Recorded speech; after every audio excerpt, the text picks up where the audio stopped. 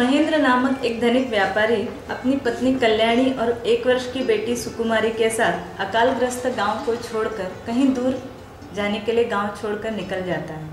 रास्ते में बहुत भीड़ भाड़ रहती है। उस भीड़ में वो अपनी पत्नी और बेटी से बिछड़ जाता है। इधर कल्याणी और सुकुमारी बिछड़ के, अपने पति से बिछड़ के रास्ते में दर दर की ठोकरें भटकते हुए एक डाकुओं के गिरोह में मतलब उनके हाथ लग जाती है डाकू उनको पकड़कर लेके जाते ही रहते हैं। तो उनके जो आपसी बैर रहते हैं दूसरे गिरोह के साथ, उनकी आपसी लड़ाई में कल्याणी और उसकी बेटी सुकुमारी, ये दोनों उनके हाथ से बचकर निकल जाती है। कल्याणी निकलते हुए, जंगल, घने जंगलों से होते हुए एक आश्रम में पहुँचती है। आश्रम का मुखिया जो रहता है वो सत्यानंद रहता है। वो एक वैष्णव धर्म का अनुयायी है और उसके साथ में रहने वाले भी लोग सभी उसी के जैसे हैं, जिनको संतान कहा जाता है। तो सत्यानंद आश्रम का मुखिया कल्याणी और उसकी बेटी को आश्रम में आश्रय देता है और कल्याणी जब अपनी पूरी आपबीती उनको सुनाती है तो वो अपने शिष्य भवानंद और उनके साथियों को बोलता है, इसके पति को खोज कर लाइए, इसको ढूंढ कर लाइए आप। इधर भवानंद और उसके साथी महेंद्र की खोज में निकलते हैं। और बीच रास्ते में महेंद्र भी ऐसे ही भटकते दर दर की ठोकरें खाते हुए भटकता रहता है। तो सूबेदार के सैनिकों को लगता है कि ये कोई चोर डाकू लुटेरा है। तो वो उसके साथ में मारपीट करने लगते हैं। इतने में ही भवा, भवानंद और उसके साथी, सूबेदार के साथियों के सैनिकों के साथ उनकी मुठभेड़ हो जाती है। भवानंद और उसके साथी सूबेदार के सैनिकों से सारा सोना, पैसा, जो भी रहता है वो लूट लेते हैं और महेंद्र को उनके हाथ से छुड़ाते हैं। बाद में महेंद्र इनसे पूछता है, आप लोग कौन हो? आप लोग भी कोई डाकू लुटेरे हो क्या? भवानंद और उसके साथी कोई भी जवाब नहीं देते हैं। वो भी घने जंगलों से होते हुए आश्रम हो जाते रहते हैं। तो रास्ता काटने के लिए और उस समय की मनस्थिति बताने के लिए भवानंद एक गीत गाता है।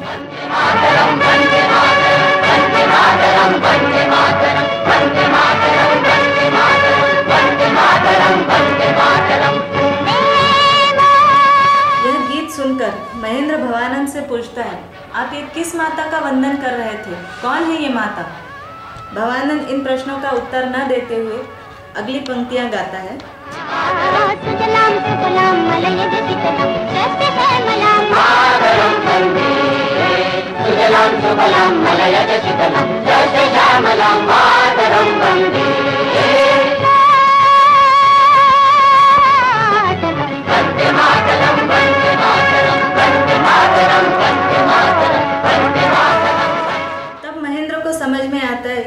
माता के बारे में नहीं, किसी जन्मभूमि या किसी देश के बारे में यह गीत है।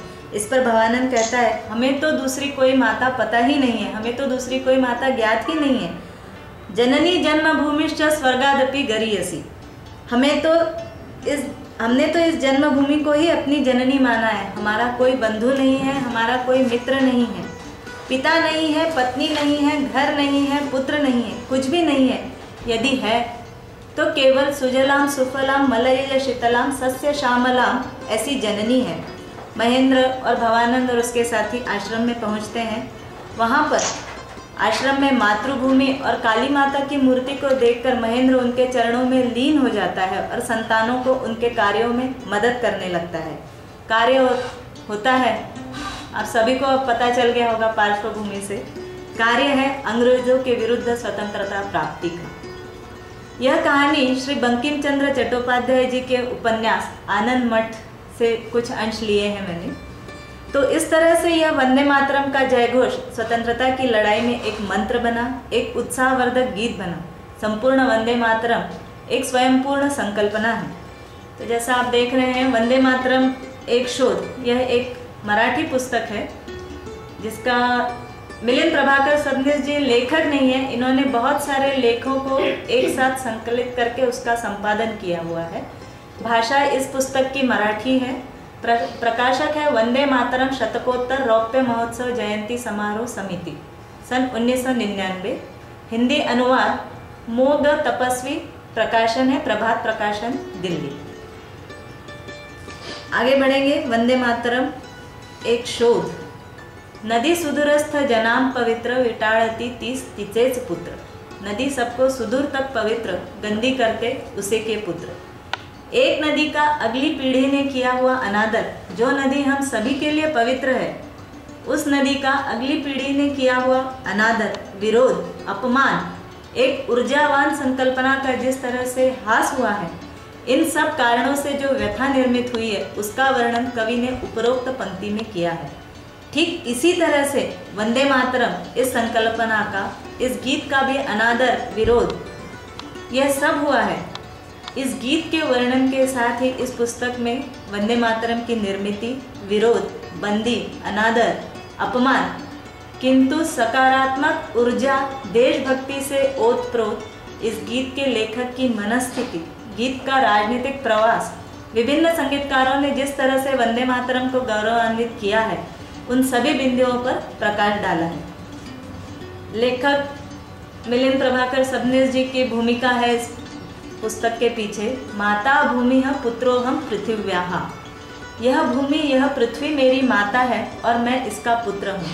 अथर्ववेद में अथर्वन ऋषि कहते हैं, इस पृथ्वी माता का हृदय अमृतमय है। यह पृथ्वी माता क्षमाशील है। वह उच्च निम्न जाति, वर्ण संप्रदाय कोई भेदभाव नहीं करती। इसीलिए हे मातृभूमि, हे भूमाता, हे पृथ्वी माता, हे जगतरात्री तुम्हें मेरा वंदन। वंदे मातरम का जन्म कलकत्ता शहर के पास एक छोटा सा गाँव है नयहाटी और नयहाटी के कंटालपाड़ा बस्ती में शाम के समय एक दो मंजिल इमारत में एक व्यक्ति शांतिपूर्ण कुछ लिखने में मग्न रहते हैं। जब उनका लेखन पूर्ण होता है, तब उनके मुख पर विलक्षण तेज उभर कर आता है, जैसे कि इस कविता लेखन से संपूर्ण मानव जाति को एक तेजो वलय प्रकाश प्राप्त होने वाला है। उसी समय बंग दर्शन जो कि साप्ताहिक मासिक था उस समय का, उसके संपादक अंदर आते हैं और बहुत जल्दी जल्दी में रहते हैं। हाथ में, बंकिम जी के हाथ में जो कविता देखते हैं हाँ हाँ ये इस जगह में बस जाएगी ये कविता। ठीक है, अभी तो अभी का काम चल सकता है। तो बंकिम जी बहुत नाराज़ हो जाते हैं और कहते हैं कि ये कविता अच्छी है, बुरी है, अभी फिट हो रही है, नहीं हो रही है, ये मुझे पता नहीं। लेकिन जब इस कविता का महत्व संपूर्ण मानव जाति को पता लगेगा, तब आपको पता चलेगा कि मैं क्यों अभी नाराज़ हो रहा हूँ इस चीज़ के लिए। और वह काव्य था, वंदे मातरम, एक राष्ट्र मंत्र का जन्म हुआ था। सभी देशवासियों को जगाने वाला एक सिद्ध मंत्र था। वंदे मातरम के रचयिता श्री बंकिम चंद्र चट्टोपाध्याय जी का जन्म 25 जून 1838 में हुआ था। 1860 से 1882 तक का काल जो साहित्य के क्षेत्र में है, बंकिम काल के नाम से जाना जाता है। 1880 से 1882 आनंद मठ उपन्यास इसी काल में प्रसिद्ध हुआ है बंकिम जी का, और बहुत प्रसिद्ध का उपन्यास है ये। इस उपन्यास में बंकिम जी ने वंदे मातरम का उपयोग बहुत ही सुंदर ढंग से किया है। अगर देखा जाए, उपन्यास अगर पढ़ते हैं आनंद मठ, और उसमें अगर वंदे मातरम को आप हटा दे तो आनंद मठ अधूरा है। और वंदे मातरम में से आनंद मठ निकाल दीजिए तो वंदे मातरम भी जो हमको ज्ञात है, वैसा नहीं लगेगा। लेखक ने वंदे मातरम के रचयिता बंकिम चंद्र चट्टोपाध्याय जी का चरित्र एवं साहित्य का बहुत ही विस्तृत वर्णन किया है। बंकिम चंद्र जी ने अपने लेखन द्वारा स्वतंत्रता की आशा को पल्लवित करने का काम बहुत सुंदर ढंग से किया हुआ है। बंकिम चंद्र जी के कार्य को भारतवासियों के समक्ष प्रस्तुत किया है श्री अरविंद जी ने। श्री अरविंद जी ने बंकिम चंद्र जी को राष्ट्र निर्माता कहा है। बंकिम जी ने समय से बहुत आगे चलकर राष्ट्र निर्मित का चिंतन किया हुआ है। उन्होंने धार्मिक संकल्पना को देशभक्ति की माला में पिरोकर एक महान मंत्र दिया। इस मंत्र के द्वारा देश के लिए प्राण त्यागने का धैर्य हमारे क्रांतिकारकों में जाग उठा आगे इस बुक में अगला उन्होंने जो चैप्टर लिया हुआ है, वैदिक वांग्मय एवं वंदे मातरम। बंकिम चंद्र जी, जैसा कि आप सभी को पता है, वो बहुत बड़े वेद के भी अभ्यासक थे। उन्होंने जन्मभूमि को माता के रूप में देखा। उसकी संकल्पना हमारे प्राचीन वेदों में लिखित है।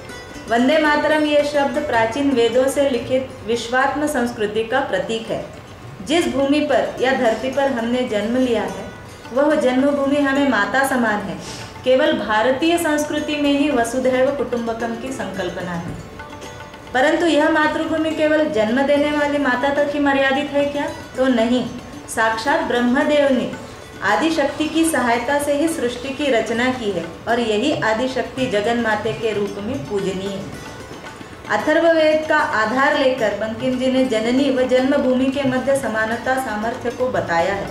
भारत के प्राचीन इतिहास का आविष्कार वंदे मातरम गीत के द्वारा ही हुआ है। मातृभूमि, जन्मभूमि के पूजन को अनन्य साधारण महत्व देने वाली संस्कृति और परंपरा परंपरा केवल हमारी है और केवल हमारी ही है। इस तरह से बंकिम जी ने प्राचीन वेदों के अभ्यास से और वंदे मातरम के रचना से इतना अच्छा वो संबंध स्थापित किया है कि वंदे मातरम के पूरे गीत में हमें पूरी भारतीय संस्कृति का मतलब अभ्यास हो जाता है। वंदे मातरम निर्मित पूर्व पार्श्वभूमि जो है और एक है वंदे मातरम इस मंत्र का आधार प्रसिद्ध चित्रकार पंडित श्रीपाद सातवलेकर जी ने भी किया हुआ है मतलब उसका अभ्यास किया है। वो भी अच्छे प्राचीन वेदों के अभ्यासक थे। उन्होंने 1917 में ये चित्र निर्मित किया है। देखिए आप वो माता पुत्र को लेकर बैठी। और जो नीचे जो कमंडलू रखा हुआ है, वो तब का सिलोन आज का श्रीलंका है। तो ये इतना अच्छा सभी चित्रकारों ने भी उस उस इसका मतलब उस कालखंड का वर्णन अपने चित्रों से, अगर लिखना नहीं है तो भी चित्रों से उन्होंने बहुत अच्छे से स्पष्ट किया हुआ है ये सब। वंदे मातरम निर्मित पूर्व पार्श्वभूमि। वंदे मातरम का यह मंत्र सारे विश्व को देने वाले श्री बंकिम चंद्र चट्टोपाध्याय जी एक ऋषितुल्य व्यक्ति थे। उनका यह कार्य सारे विश्व के समक्ष जैसा कि मैंने बताया, लाने वाले व्यक्ति थे श्री अरविंद जी। वंदे मातरम लेखन की प्रेरणा कवि को कैसे प्राप्त हुई, उसका पूरा वर्णन कवि ने, यानी कि बंकिम जी ने, अमार दुर्गोत्सव, एक उनका लेख है। उसमें विस्तार से लिखा है, यह लेख कार्तिक ईस्वी सन 1875 में स्वयं बंकिम जी ने लिखा हुआ है। वंदे मातरम के पूर्व, बंकिम जी का सारा और पूरा चिंतन अमार दुर्गोत्सव में प्रकट हुआ है। प्रदीर्घ चिंतन के बाद मातृभूमि का एक स्वरूप उनके मन में साकार हुआ। उन्हें मातृभूमि का दर्शन हुआ और जब दर्शन हुआ, तब एक ही आवेग में वंदे मातरम का निर्माण हुआ। दिनांक सात अक्टूबर 1875 शके सत्रह सौ अश्विन शुक्ल अष्टमी, इस दिन श्री बंकिम जी को मातृभूमि के दर्शन हुए। मातृभूमि का दर्शन साकार हुआ उनके मन में और ठीक एक महीने बाद, दिनांक सात नवंबर 1875 शके सत्रह सौ संतानवे कार्तिक शुद्ध नवमी के दिन वंदे मातरम का यह मंत्र उनकी लेखनी से सारे विश्व को प्रकट हुआ और इस नवमी को अक्षय नवमी भी कहा जाता है। वंदे मातरम निर्मित के पश्चात का प्रवास 1875 में कार्तिक महीने में बंकिम जी को इस गीत के लेखन की प्रेरणा प्राप्त हुई और उनकी लेखनी से यह गीत प्रस्तुत हुआ। और फिर तब के कालखंड में इस गीत की चर्चा पूरे बंगाल में होने लगी। सभी जो बड़े साहित्यकार, कवि थे, सभी ने ये वंदे मातरम की स्वर लिपि तैयार की। और 1877 में वंदे मातरम की एक रचना तैयार हुई। यहाँ पर एक बात कहना चाहूँगी कि वंदे मातरम लिखने के 10 वर्ष पश्चात तक हर एक बड़े साहित्य में, हर एक काव्य में वंदे मातरम को जोड़ना एक मान बिंदु था। सभी साहित्यकारों को वो मोह हो गया था कि हमारे काव्य में या हमारे लेख में, हमारे साहित्य में वंदे मातरम का होना बहुत ज़रूरी है, बहुत आवश्यक है। अठारह में जैसे आप सभी को पता है, राष्ट्रीय सभा की स्थापना हुई और उसके ठीक 10 वर्ष पश्चात मतलब अठारह सौ छियानवे में राष्ट्रीय सभा का पहला अधिवेशन व्योमकेश बैनर्जी, इनकी अध्यक्षता में संपन्न हुआ। ये बड़े दुख के साथ कहना पड़ता है कि वंदे मातरम का, उस दिन उस सभा में संपूर्ण गायन हुआ वंदे मातरम का। लेकिन वो बंकिम जी के निधन के दो वर्ष पश्चात हुआ। लोगों तक पहुँचने के लिए 20 साल लग गए। वंदे मातरम को लोगों तक पहुँचने के लिए 20 साल लग गए। और बंकिम जी का निधन 8 अप्रैल अठारह सौ चौरानवे में हुआ और ज़ाहिर जो गायन हुआ, सबके सामने जो गायन हुआ वंदे मातरम का, रविंद्रनाथ टैगोर जी ने किया। वो अठारह में हुआ 1901 में फिर से राष्ट्रीय सभा हुई, जहाँ दक्षिणारंजन सेन के स्वरों में संपूर्ण वंदे मातरम का गायन हुआ। वंदे मातरम पूरी जनता के सामने या पूरे भारतवासियों के सामने पहुँचा बंगाल विभाजन के समय। बंगाल विभाजन की घोषणा हुई और इस विभाजन का निषेध करने के लिए सभी भारतवासियों ने वंदे मातरम के जयघोष के साथ बंगाल विभाजन का निषेध किया। सभी, उसके बाद के सभी आंदोलन उठाव, सभी घटनाएँ वंदे मातरम के साक्षी से ही होने लगी। वंदे मातरम का यह मंत्र हिंदुस्तान में बंगाल विभाजन के कारण ही पहुँचा। 7 अगस्त 1905 में कलकत्ते के कॉलेज चौक में, जिसे जिसे बिडन स्क्वायर भी कहा जाता है, वहाँ पे सर्वप्रथम सभी विद्यार्थियों ने, सब कॉलेज के विद्यार्थियों ने मिलकर एक जमाव और ये बंगाल विभाजन का निषेध जो उनको प्रकट करना था, उसके लिए वो बिडन स्क्वायर में जमा हुए थे। वहाँ उन्होंने वंदे मातरम की घोषणा की। वंदे मातरम का यह मंत्र स्वतंत्रता की लड़ाई में युद्ध मंत्र के रूप में प्रकट होने की इस घटना को अरविंद जी ने कलमबद्ध किया हुआ है। उसके बाद 1906 के कलकत्ता अधिवेशन के लिए भगिनी निवेदिता ने ध्वज तैयार किया था, उस पर वज्राकृति पर वंदे मातरम शब्द रेखांकित किए गए थे। बंगला भाषा में लिखा हुआ था वंदे मातरम, और वो उन्होंने खुद अपने हाथों से एम्ब्रॉयडरी करके लिखा हुआ है। रेशम की एम्ब्रॉयडरी होती है, वो किया हुआ है। 1907 के अंतर्राष्ट्रीय अधिवेशन में, जो कि स्टुटगार्ट, जर्मनी के स्टुटगार्ट में हुआ था, मदाम कामा ने दो, जो ध्वज लहराया था उस ध्वज पर भी वंदे मातरम शब्द लिखे हुए थे। तो इस तरह वंदे मातरम जो है, वो राष्ट्रीय स्तर से उठकर अंतर्राष्ट्रीय स्तर तक पहुँच गया था। राष्ट्रीय स्वयंसेवक संघ के संस्थापक डॉक्टर हेडगेवार के साथ का वंदे मातरम वाला प्रसंग भी बहुत संस्मरणीय है, जो कि मैं चाहूँगी कि आप लोग सब पढ़ें वो। वंदे मातरम का यह मंत्र देश विदेश सभी जगह पहुँच चुका था। अंग्रेज़ भयभीत हो चुके थे। सभी क्रांतिकारों के मुख से केवल वंदे मातरम का घोष होने लगा था। वंदे मातरम इन शब्दों में राष्ट्र भावना को प्रज्वलित करने का सामर्थ्य है, इसीलिए अंग्रेज़ों का भयभीत होना तक स्वाभाविक था। अभी तक हम लोग वंदे मातरम को सकारात्मक रूप से ही ले रहे हैं और वैसा ही लूँगी। विरोध में ज़्यादा बोलूँगी नहीं। आप लोगों को सबको पता है, लेकिन इस पुस्तक में लेखक ने विरोध का भी वर्णन किया है तो थोड़ा सा उसका बताना चाहूँगी। वंदे मातरम का विरोध। हमारी भारतीय संस्कृति सबको अपने में समाने वाली है। सर्वेशाम विरोधे न ब्रह्म कर्म समारभे। वंदे मातरम की रचना में भारतीय संस्कृति एवं संस्कृत साहित्य का अत्यंत प्रभाव है। इतनी थोड़ी सी पंक्ति में संपूर्ण राष्ट्र का वर्णन किया गया है। इसकी हर पंक्ति आशय से भरपूर है। सिकंदर से लेकर अंग्रेज़ों तक सभी ने इस भूमि पर आक्रमण किया है। कभी सत्ता की लालसा से, कभी संपत्ति की लालसा से, परंतु उन सभी को हमारी परंपराओं को और संस्कृति को नष्ट करते नहीं बना है। यही कारण रहा है वंदे मातरम के विरोध का। वंदे मातरम का यह गीत मातृ पूजा का प्रतीक है।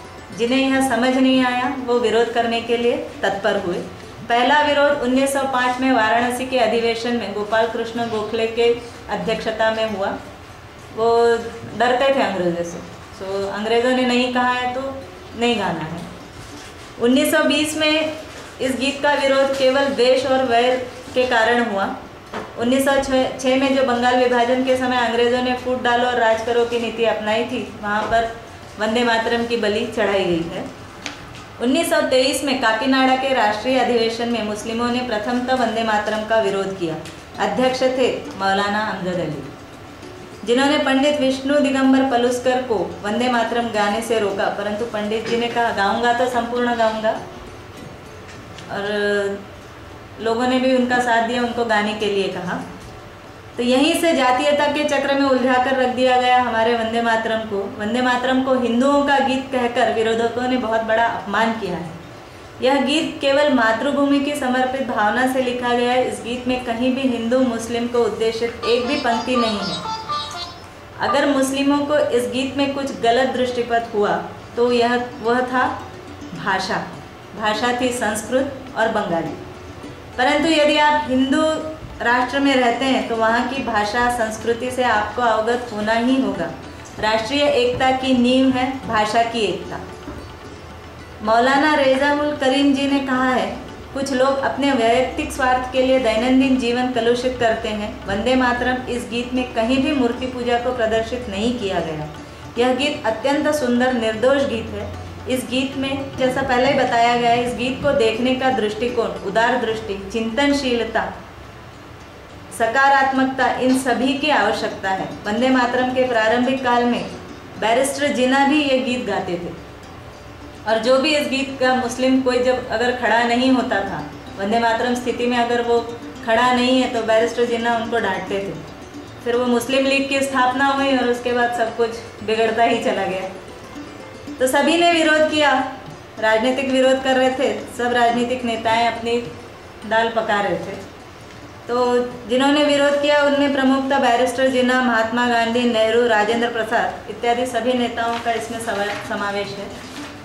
वंदे मातरम और संगीत। भारतीय शास्त्रीय संगीत विश्व में सबसे उत्कृष्ट संगीत के रूप में जाना जाता है। वंदे मातरम को गाने के लिए अनेक बड़े बड़े संगीतकारों ने इसे संगीतबद्ध किया, इसकी स्वर लिपि तैयार की। सर्वप्रथम यदुनाथ भट्टाचार्य ने वंदे मातरम की स्वर लिपि तैयार की. उस काल में जगदीश नाथ राय, हेमचंद्र बैनर्जी तारा प्रसाद चट्टोपाध्याय इत्यादि तत्कालीन गायकों ने यदुनाथ भट्टाचार्य जी की स्वर लिपि पर वंदे मातरम का गायन किया। आनंद मठ उपन्यास के प्रकाशित होने से पूर्व एक स्वरलिपि श्री क्षेत्रनाथ मुखर्जी ने तैयार की थी। 28 दिसंबर अठारह सौ छियानवे, कलकत्ता के बिडन स्क्वायर में रविंद्रनाथ जी के पहाड़ी स्वर में वंदे मातरम का ज़ाहिर गायन हुआ, जो कि सभी भारतवासियों के लिए एक रोमांचक क्षण था। 1901 में दक्षिणारंजन सेन ने वंदे मातरम का गायन किया। 1905 में सरला देवी चौधरानी ने विरोध होने के पश्चात भी संपूर्ण वंदे मातरम का गायन किया। तब ऐसा था राष्ट्रीय सभा में अनेक दिग्गज कलाकारों को गायक के क्षेत्र के कलाकारों को आमंत्रित करते थे और वंदे मातरम का गायन किया जाता था। पंडित विष्णु दिगंबर पलुस्कर जी को भी आमंत्रित किया गया था। उन्होंने काफ़ी राग में रचित वंदे मातरम की रचना लिखी। और जब गाया तो यह यह रचना बहुत ही कम समय में बहुत प्रसिद्ध हो गई थी।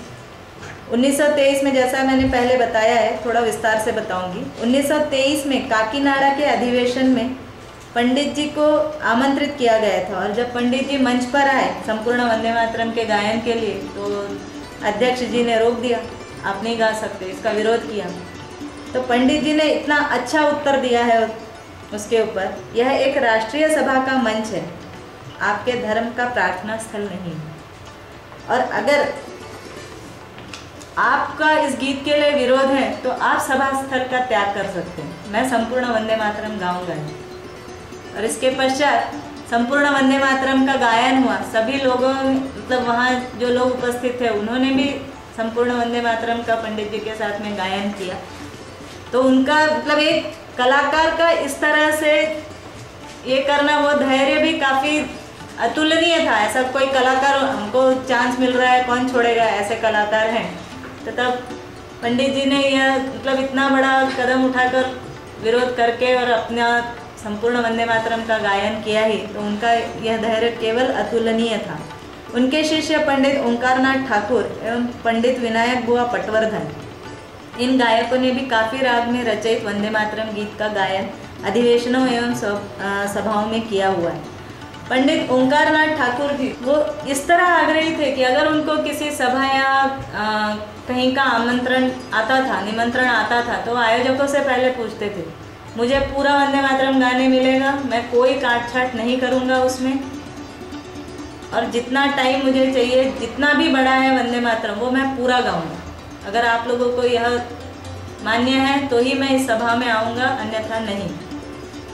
तो लोग तैयार होते थे, बुलाते थे उनको। और 15 अगस्त, स्वतंत्रता दिवस की सुबह साढ़े छः बजे आकाशवाणी पर से पंडित ओंकार नाथ ठाकुर जी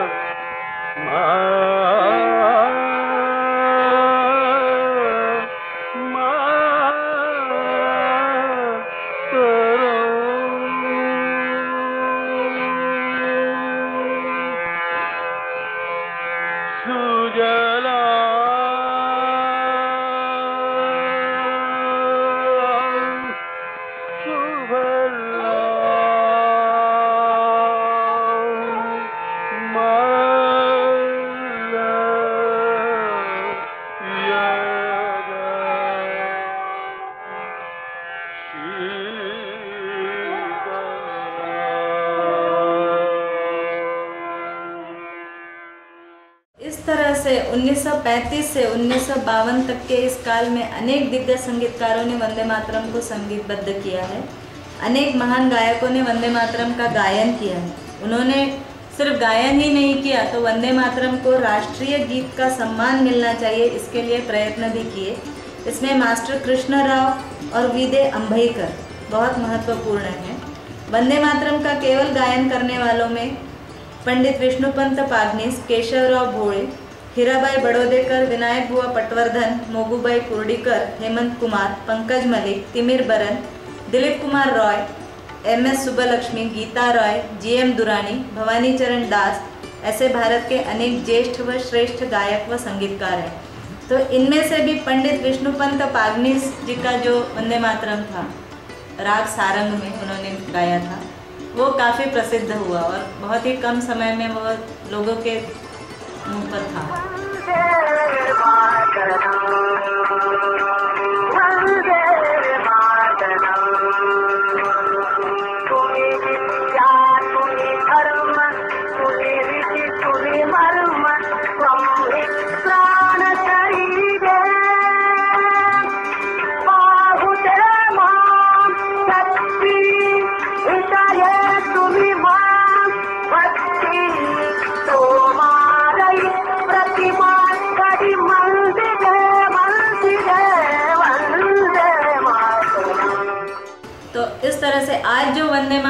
प्रचलित है, उसके जो दो पैराग्राफ हम लोग जो गाते हैं, स्कूल में जो है, वो राग देश पर आधारित है। और आनंद मठ में जो हमने सुना, वो भैरवी और मालकंस राग का मिश्रण है। वंदे मातरम को राष्ट्रीय गीत का सम्मान मिले, इसके लिए विदे अम्भईकर मास्टर कृष्ण राव एवं दिलीप कुमार रॉय, इन लोगों ने बहुत महत्वपूर्ण प्रयत्न किए। वंदे मातरम के लिए राष्ट्रीय स्तर पर विदे अम्भईकर जी ने अथक परिश्रम लिए थे, इसलिए उन्हें राष्ट्रीय गायक भी कहा जाता है। स्वतंत्रता प्राप्ति के पश्चात वंदे मातरम को राष्ट्रगीत का स्थान मिले। इसके लिए उन्नीस सौ उनचास में काका साहेब गाडगर जी ने समिति के समक्ष श्री अंबेडकर जी को संपूर्ण वंदे मातरम गाने के लिए आमंत्रित किया था। श्री बाबा साहेब अंबेडकर जी ने उनका गायन सुनकर कहा था कि इनके स्वर में स्वरबद्ध वंदे मातरम की ध्वनि मुद्रिका निकलनी चाहिए और I will be the first man to purchase your record किंतु, आचार्य कृपलानी जी जैसे व्यक्ति ने कहा कि दोनों में से कौन सा राष्ट्रगीत होगा, यह तो केवल नेहरू जी ही तय करेंगे।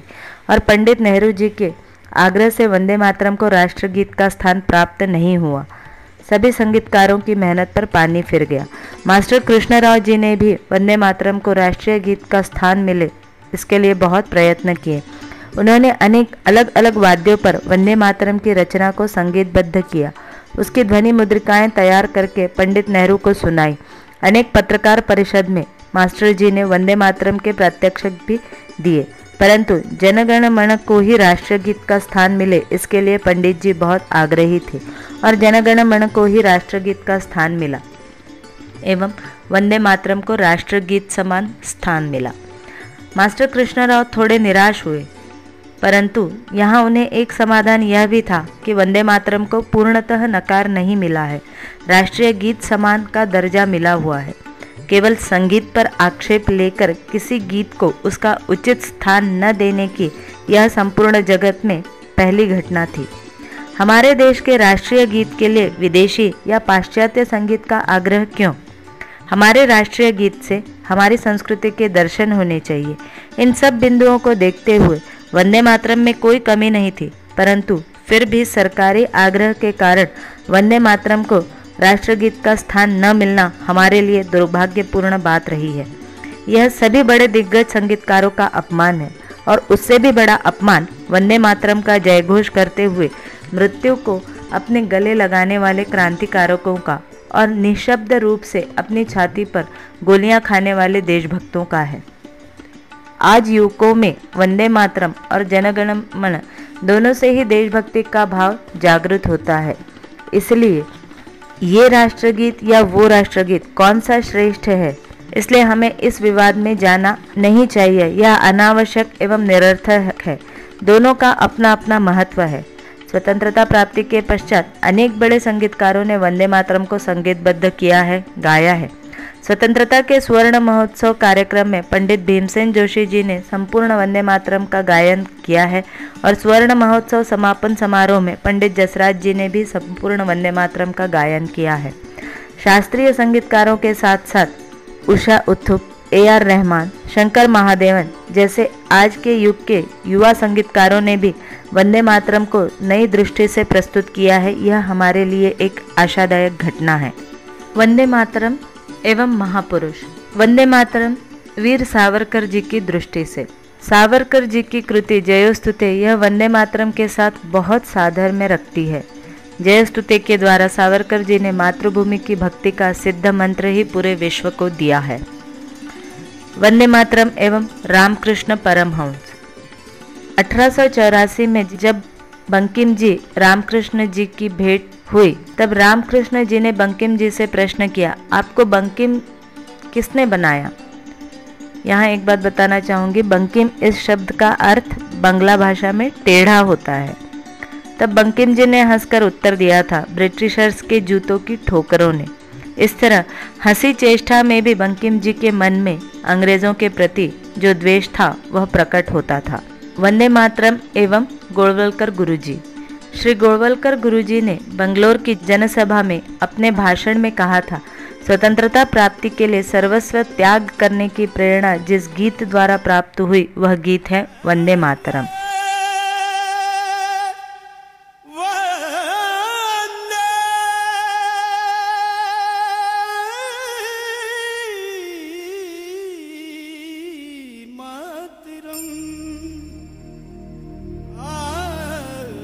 Mother,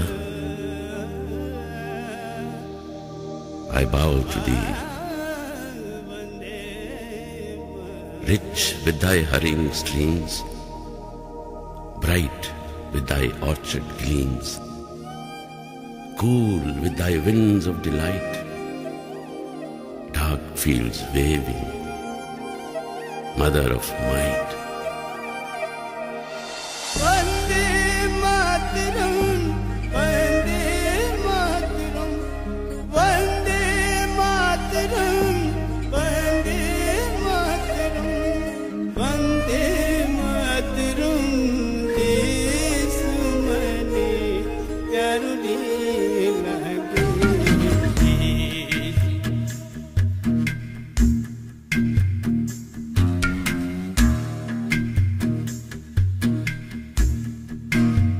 चारुरी जंग मंगल जङ्गल सुमने जारी लगे देश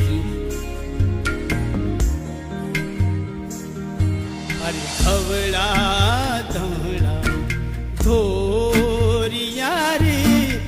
आची Nirma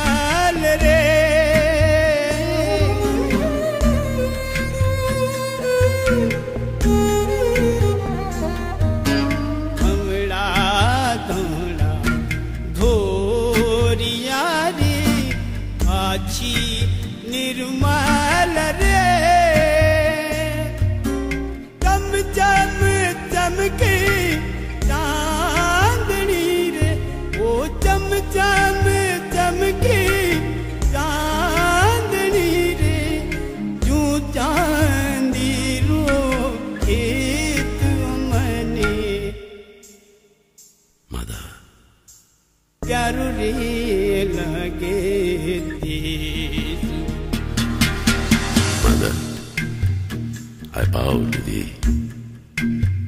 Rich with thy hurrying streams, bright with thy orchard gleams, cool with thy winds of delight, dark fields waving, mother of might, mother free, glory of midnight dreams over thy branches and lordly streams. Clad in thy blossoming trees, mother, giver of ease, laughing low and sweet.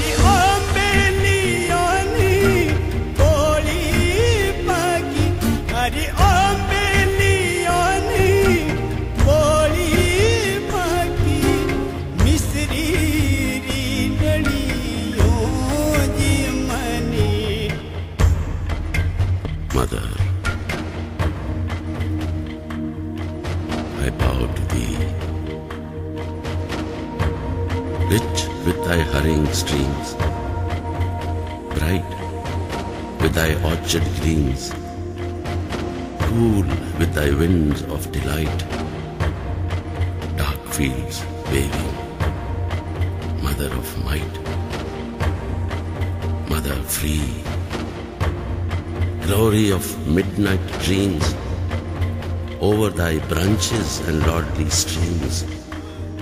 Clad in thy blossoming trees mother giver of ease. Laughing low and sweet mother i kiss thy feet.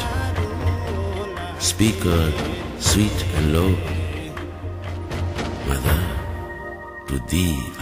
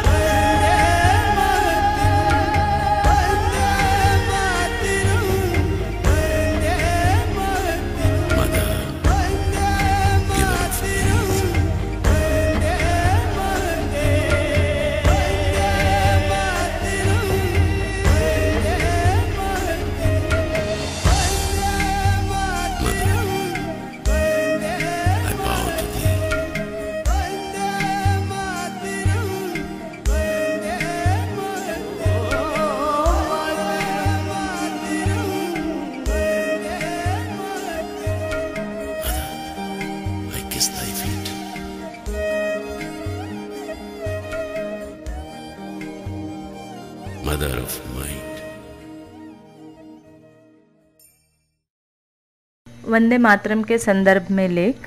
Shri Bankim Chandra ji के वंदे मातरम के संदर्भ में बहुत महत्वपूर्ण लेख हैं, आमार दुर्गोत्सव एवं एकती गीत।